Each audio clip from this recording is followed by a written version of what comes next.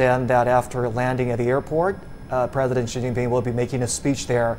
That is a highly anticipated speech. People look forward to seeing how he feels about Macau, what he thinks about the special administrative region, and the vision he has for Macau on this very special occasion.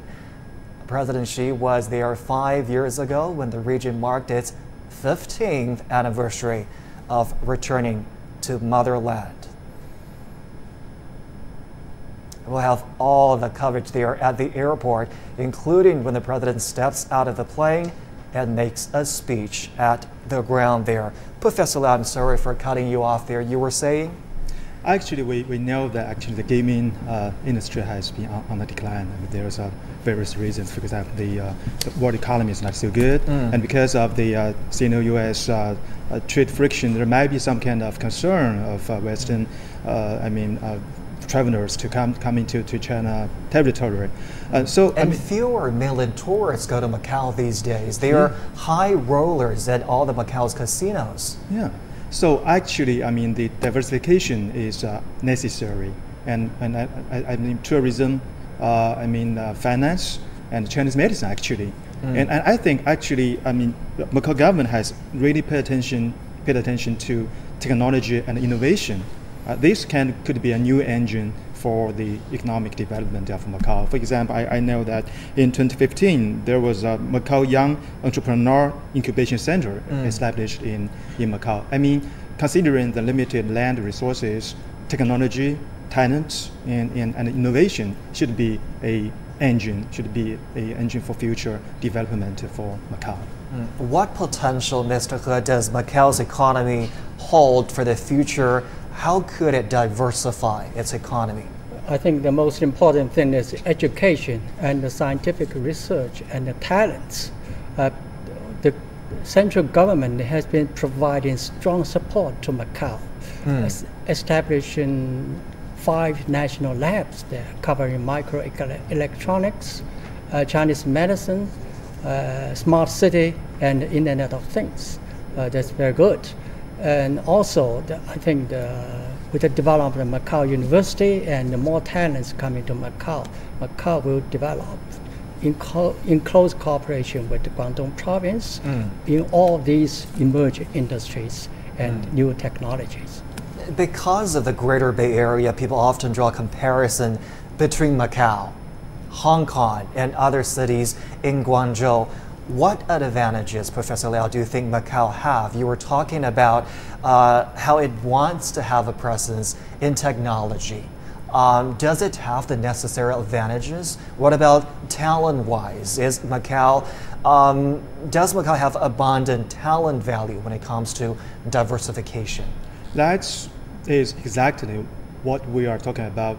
What Macau can benefit mm. from the Greater Bay Area plan mm. because this plan is exactly designed to further integrate Hong Kong, Macau, Guang, and Guangdong province. Mm. For example, we design new policies, new rules to facilitate like customers clearing, like movement of personnel, including talents, like I mean mutual recognition of uh, uh, qualified um, of, of, professional qualifications, so that Macau people can go working in like in, in Guangzhou, in Shenzhen, very uh, conveniently, mm. and vice versa. So this could be a very good way to solve the problem of limited resources and limited uh, like personnel. This could be a very good opportunity for the further development of uh, Macau in, in, a big map of the Greater Bay Area. Mm. We were talking about just how scarce resources in Macau uh, are. This is a relatively small region,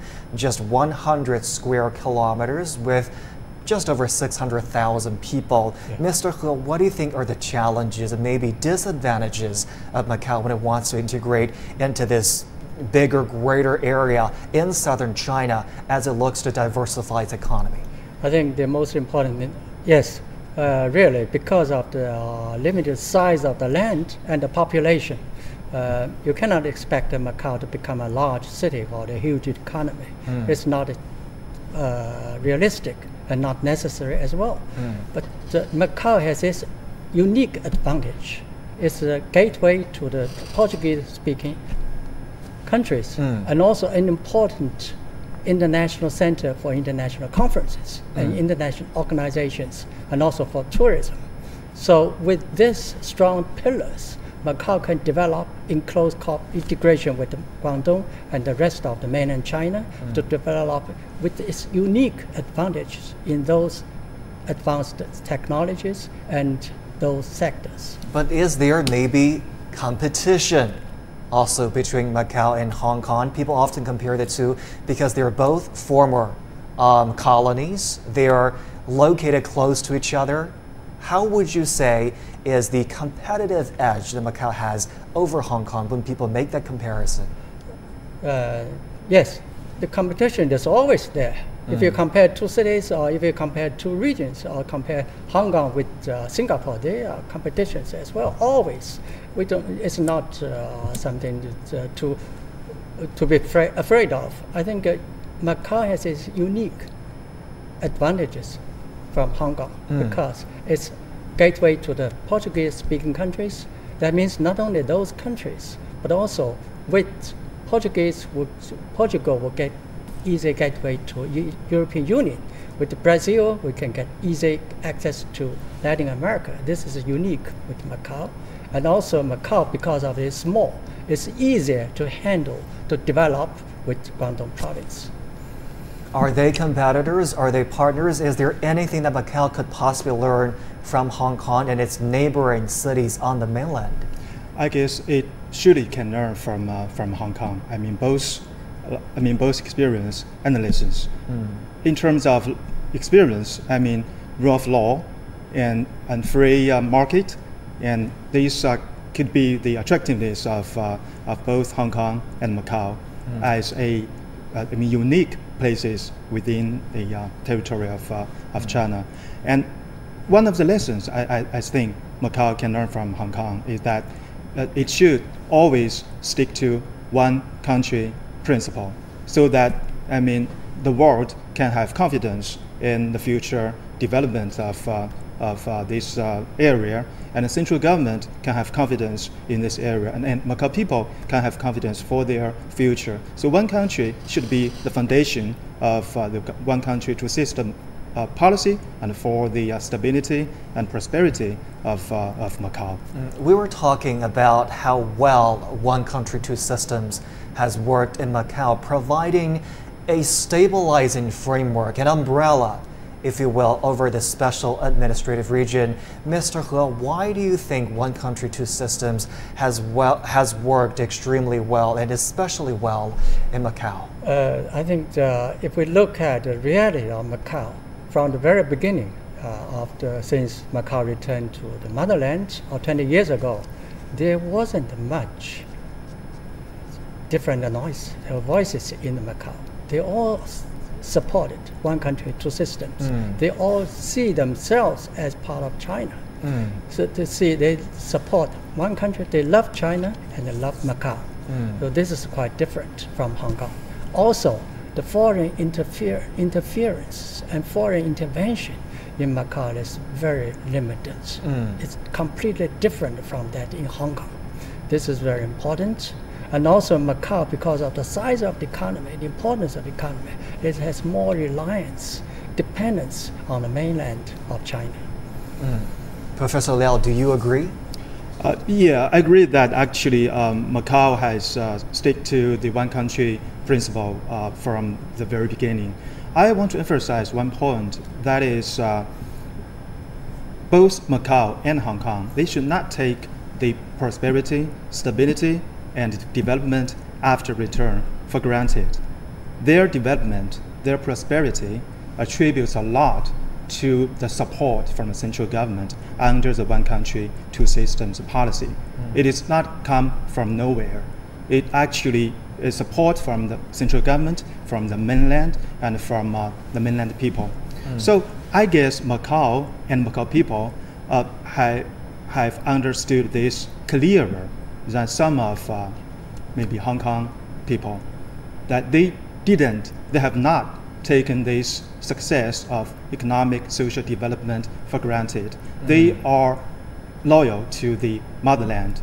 They are faithful to the constitution and to the basic law. And this is the very foundation of the uh, comparative success of Macau's economic and social de- development since its return to China, especially the stable situation of today. And their loyalty has really paid off. I mean, the central government has provided unwavering support in Macau as a special administrative region. We are also hearing that there could be another stock exchange. Uh, in Macau, yuan denominated stock exchange there, to as part of uh, further support policies from the central government. Um, what do you anticipate that the central government will do at this point on this very special occasion to further its support to Macau? Professor Liao. Actually, as you have mentioned just now, the uh, uh, diversification of economy is a necessary step for the further development of Macau. So I think this stock exchange, as planned, is actually one of these considerations, For- because finance could be a uh, engine for the economic development given the limited resources of, uh, of Macau. So I think uh, besides gaming industry, uh, which is still the backbone of, of Macau's industry, I mean finance, uh, tourism, and technology, and even Chinese medicine uh, could be all come together to form a big picture for the further development of Macau. And I think the central government should have an overall plan for this. And, and, and I believe President Xi will, will send some signal to, to Macau people uh, in, in his coming speech. We'll keep hearing what he talks about in that speech coming up uh, later in this hour. Mr. He, what do you think? How will the central government continue to support Macau? First of all, I think uh, the central government will reaffirm again and again one country, two, system, uh, two systems of policy that will be adhered unchanged until the year 2049, with, when Macau returned to China, uh, got 50 years. So this, for sure, to make it very clear again and again. Then, with specific efforts, will support Macau to develop its diverse innovation and the new emerging industries and education, so on and so forth, and more support from Guangdong province in the context of the Great Bay Area. Mm-hmm. Also, the central government will try to develop the capital market in Macau as a part of the international capital market, further integrating into the world market. Mm. Talking about integration of Macau into the world, its status as a special administrative region of China has elevated Macau's international status as well. It's more featured in movies, as we can see, and people really understand the concept of Las Vegas in the East. That's an easy concept to grasp for um, everybody else outside of China. And Macau really is part of 120 international organizations. Yes. That number was just 51 Yeah. before its Uh, return more than to doubled in China. 20 years. Absolutely. Help us understand what's happened there. Why is Macau more involved in international affairs today? I think uh, if we compare the history and experience of Las Vegas, we can find some similarities. I worked during my work uh, in San Francisco. I visited Las Vegas and attended trade fairs very often as part of my work. I, to many people, to the understanding of many people, Las Vegas is only gaming uh, spot. That's not enough. That's not correct. Las Vegas is also the hub of high tech and also the, the hub of international conferences and, and exhibitions. So Macau could follow, could learn some experiences from Las Vegas and become attraction of international conferences, international tourism, and also high tech. Is Macau following in the footsteps of Las Vegas? And not what following, but can learn something. can learn something? What else can Macau learn from Las Vegas? Um, actually, I think uh, this, uh, what can Macau learn from Las Vegas is that it, it should have a very clear vision of its, uh, I mean, features and its uh, for the qualifications and its uh, specialties. This is most important because Las Vegas, we know it's, it was built in, in, in a desert with, without enough resources. But I mean, by grasping this uh, this uh, uh, opportunity uh, of gaming industry, actually grow into a, a worldwide famous uh, city. So I mean, knowing its uh, advantages and disadvantages, and build the uh, development plan, focus its development on its its advantages, and win support from the uh, central government. I think it's uh, what Macau can learn from Las Vegas and other uh, successful uh, cities in the world. What about tourism in Macau? We know that uh, tourists from mainland have contributed to local economic growth there. Um, and Macau has a unique blend of cultural heritage. What cultural cards does Macau have to play, Mr. He? I think uh, the highest top number one attraction for tourism in Macau is the blend of different cultures, Mm. the Western culture and the Eastern culture, the foreign culture and the Chinese culture. Uh, you cannot find uh, similar cities in other parts of the world, or you can hardly find it, anything like that. That's it. You can go to, you can find easily the Christian church in Macau, which represent the European history, and also many Chinese temples. And also, uh, you can find uh, the languages in Portuguese and also in Chinese. And the people live in harmony. People in different, with different culture, different beliefs, live in harmony. Which, in a very small place of the city, you can find a, a colorful blend of different cultures and history. So, for people who haven't checked out Macau yet, there's a lot more than just gambling and, and, and you know, staying in your ca- ca- casino and resorts and all of that. What is your impression of tourism in Macau? Actually, as uh, uh, Mr. He pointed out, there is a beautiful blend of uh, Western and Chinese culture in Macau. And another uh, interpretation of its attractiveness is that actually it, it's a witness of Chinese history in the past, let's say, 100 years. How the Western people, how the Western colonists, uh, together with Western thoughts and Western culture, have come to uh, China and have uh, conflicted, confronted with Chinese people and Chinese civilization, and how the local people, with their culture, their identification, their spirits, have survived from the invasion of, of Western colonists and have sort of mixed their experience, their culture, with the uh, Western culture, and have built such a beautiful city like Macau. I think this is actually a, a mixed uh, miniature of, uh, of uh, uh, Chinese history in, in, in the past uh, 100 years. This, this could be a uh, attractiveness of, uh, of Macau for uh, tourists.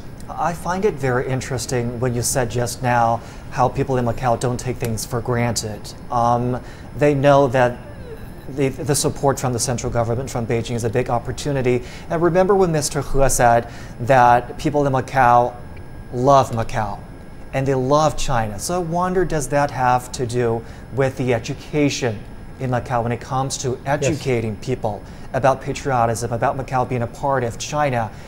Your thoughts? Yes, the schoolboys in Macau were educated in with Chinese history, the textbooks, Chinese history, part of China, and uh, their ancestors, how they lived, how they moved from the mainland to Macau. It's completely different from the primary school education in Hong Kong, which taught only about Europe, about the UK, about the history of Hong Kong with the UK. It's quite different. So the education from the schoolboys is, is the fundamental thing. Mm, I ask this because commentators and um, educators, all right, uh, if you're just joining us here on CGTN and you're looking at live pictures coming in from Macau International Airport, and that plane has carried Chinese President Xi Jinping to Macau for celebrations marking the 20th anniversary of Macau's return to China. In just a few moments, we expect the Chinese president to step out of the plane. It looks like final preparation there. Chinese President Xi Jinping with his wife, Madam Peng Yuan, arriving in Macau for a very packed schedule there. He will be attending all kinds of celebrations marking the 20th anniversary of Macau's return to China. Remember, he was there five years ago at the 15th anniversary. He will attend the inauguration ceremony of the fifth term government and also inspect, take the opportunity to inspect this special administrative region. That's the outgoing chief executive, Chui Sai On. The Chinese president will be present at the inauguration ceremony of the fifth term SAR government. The region will, of course, be welcoming a new chief executive and his government there. A very warm atmosphere on the ground there at Macau International Airport, where Chinese President Xi Jinping and his wife Peng Liyuan have just touched down. We do understand that the Chinese president will be making a speech shortly. Right there at the international airport, that's a highly anticipated speech as people look for clues as to how he feels about Macau and if any new support policies will be given on this very special occasion. So keep it here on CGTN as we bring you comprehensive coverage of President Xi Jinping's three day visit to Macau. A little bit background information there. The Chinese government resumed the sovereignty over Macau in 1999 as a special administrative region or an SAR, implementing the one country, two systems policy after over 400 years of Portuguese colonial rule. December 20th this year marks the 20th anniversary of Macau's return to China. An inauguration ceremony of the Macau SAR will be held, and the city will welcome Ho Iat-seng as its new chief executive.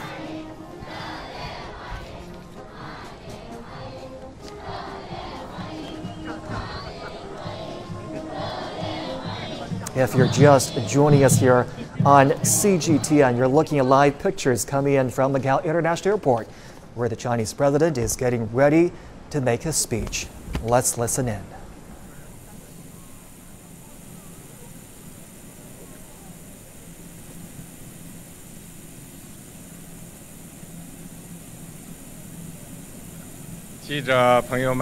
Dear media friends, good afternoon. It's really a pleasure for me to come again to Macau, to this beautiful piece of land. I am not new to Macau. I could still remember in June 2000 when the Macau Special Administrative Region was established in less than half a year, I visited Macau. Ever since that, I paid several other visits to Macau. And the recent visit was traced back to five years ago. I was here to attend the celebration of the 15th anniversary of Macau's return to its motherland five years ago. And now it's the 20th anniversary, and I come back to Macau. And I'm excited for this day. As is known to all,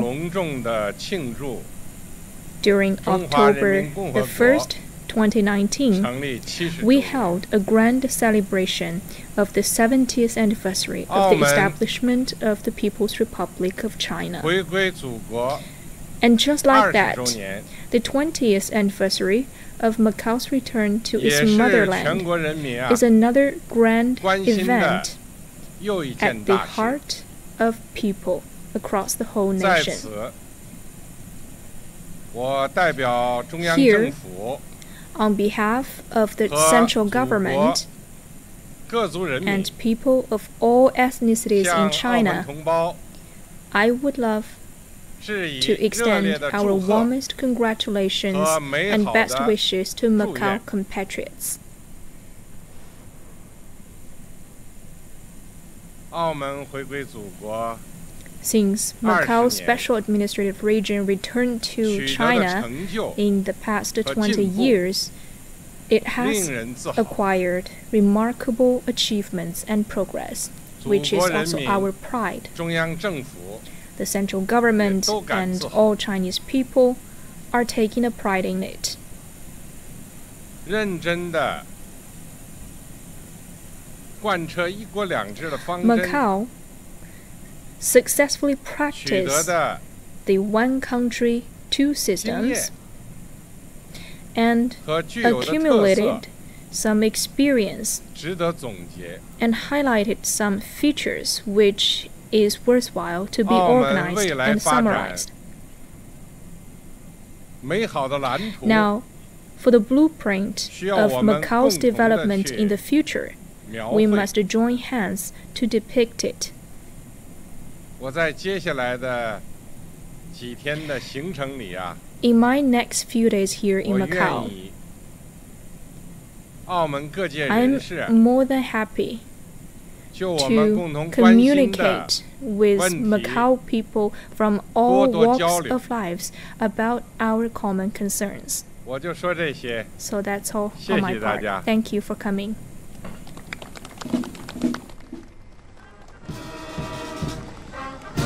There, the Chinese President Xi Jinping making a speech right after landing at Macau International Airport. He affectionately mentioned previous visits, multiple previous visits to the city, including when he was in Macau five years ago to attend the 15th anniversary of Macau's return to China. He also took the opportunity to praise the many remarkable achievements that have taken place in Macau in the last 20 years. President Xi Jinping also said that he looks forward to talking with people in, uh, from all walks of life in Macau. There, the Chinese president has landed in Macau. We'll keep you updated on all his agenda there in the special administrative region in the next few days. But for now, I'm returning to my studio guests here for more insight into President Xi's speech there. Professor Liao, let me start with you. He obviously looks like he's in a good mood. He affectionately talked about his multiple previous visits to Macau. Um, your takeaway from his speech? This is a brave yet, I mean, meaningful speech. Very Uh, concise. Very concise, but we can interpret a lot from uh, uh, his speech. First, first, um, as you have mentioned, uh, President Xi is in a very good mood. He is proud of the uh, 20th anniversary, the development of, uh, of Macau. And actually, I noticed that actually he has com- compared the uh, 20th anniversary of Mac- Macau's return to the uh, 17th anniversary of establishment of PRC. So both are very important things for Chinese people. So this is quite worthy of attention. And second, uh, second, he mentioned that both the uh, Chinese people and the central government are very proud of the development and success and achievements of Macau in the past 20 years. Very proud. So this is actually a very high, uh, I mean, uh, appraisal of uh, Macau's development in, in the past two decades. And third, he mentioned that the uh, experience uh, and the features of Macau in implementing the one country, two systems policy should be further explored and summarized, which means that actually the central government is quite satisfied with uh, Macau's implementation of the one country, two systems and want it to, to uh, I mean, have experience uh, summarized or even, I mean, learned by uh, some other places. And fourth, uh, I think uh, President Xi mentioned that he's open uh, to, I mean, opinions and suggestions for the development of Macau with uh, all people in, in, in all relevant people in Macau, which means uh, he's uh, I mean open to proposals, to, to suggestions, uh, and he's uh, he, he's willing to, on behalf of the central government, to uh, sort of draw the blueprint print for a better tomorrow of Macau together with Macau people. So this is also worthy of attention. It was a very brief speech, but President Xi doesn't do that very often, does he? Making a speech right after um, he steps out of the plane. So, uh, uh, Mr. He, when you look at that speech, what is your major takeaway? Because in that short speech, he made sure to remind people that Macau is a part of China. So anything that Macau has achieved in the past 20 years is shared by people from all over China, of all ethnic groups. People are jointly proud of what Macau has been doing. And um, uh, like Professor Liao mentioned, he talked about the 70th anniversary of the founding of the PRC together with his 20th anniversary of Macau's returning to China. Both are happy occasions, both are celebrated by every Chinese person. Your take on that speech? Yes, I'm which strikes me, uh, the President Xi Jinping's uh, short, concise remarks strikes me very much. Uh, the number one point is President Xi Jinping compares the 20th anniversary of Macau's return to the motherland to the 70th anniversary of the founding of the People's Republic of China.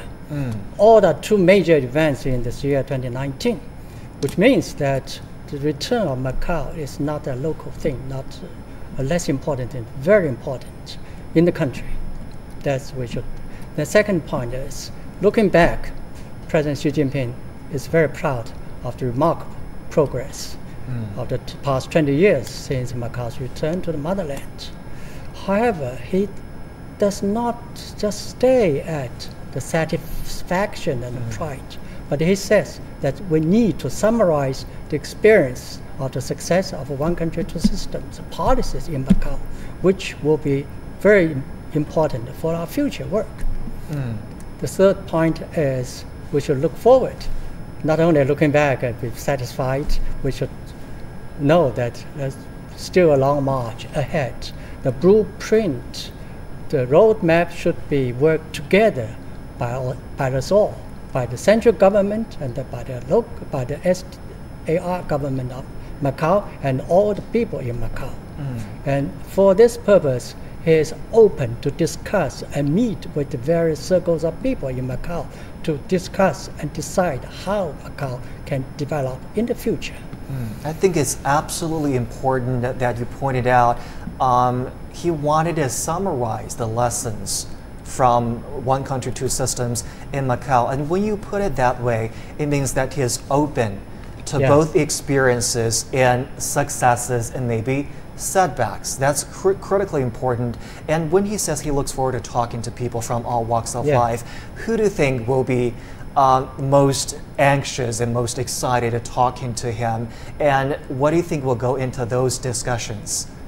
I think uh, President Xi Jinping will meet, of course, the government people, mm. the Macau SAR government, that's for sure, and also for people in the very at very grassroots mm. people.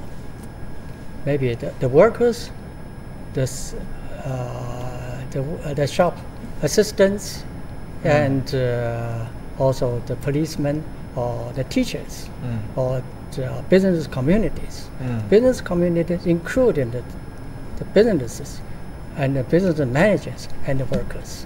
So we'll get together, collect all their ideas, their wishes, their goals, and integrate into the blueprint of possible step, uh, course for the future of Macau. Hearing various and diverse voices is very, very important here. Um, Professor Liao, I want to pick your mind on this also. Will he be talk? Uh, he obviously will be talking with government officials. There are grassroots people there to hear their voices. Um, and it's not just about hearing praise. It's not about just taking in the glory of the moment. He genuinely wishes to hear what people think, people's worries, people's visions for Macau's future. Your thoughts on that? Um, I uh, totally agree with uh, with your take. Actually, um, the words that President Xi said, he's waiting to uh, communicate with uh, with uh, the all circles uh, of issues of common concern. I mean, which I think means every kind of uh, issues of common interest and, and, and, common concern, be it, be it like social welfare, people's livelihood, or like or, or, even political agenda. I think this could will be a very candid and open discussion. And, and in addition to uh, what Mr. He pointed just now, I, I would want to emphasize that I believe young people would be a focus of, uh, of President Xi's uh, talk uh, during his visit there. Because first, President Xi has always uh, paid, paid much attention to the growth, to the, uh, development of young generation. And second, we know that during the past several months, the turmoil in, in Hong Kong, I mean, young generation has played a, a I mean, uh, important role in, in this thing, in this situation, and their concern and their, I mean, uh, interest cannot be ignored. And if there's somebody that is most concerned with the future of, um, of Macau, of, of any given place, it got to be the young generations. So I think, I believe President Xi will pay much attention to what the young people think, uh, what their concern, what their hope, what their plan for future development. This could be a, it would be, I, I, I think, a big part of his, uh, his talk and communication with the local communities. And we'll definitely keep watching there, gentlemen. It's a pleasure to have you on our special coverage and hear your input on this. And now, often called the Vegas of China, Macau is known for its gaming and glitz. The city has more to offer. Fusion cuisine, combining the tastes of China and Portugal, along with popular tourist sites where East meets West, are among some of the things visitors simply can't miss. We wrap up this hour's show with a guide to the region's best offerings. I'm Zhong Shi in Beijing. Thank you so much for your company.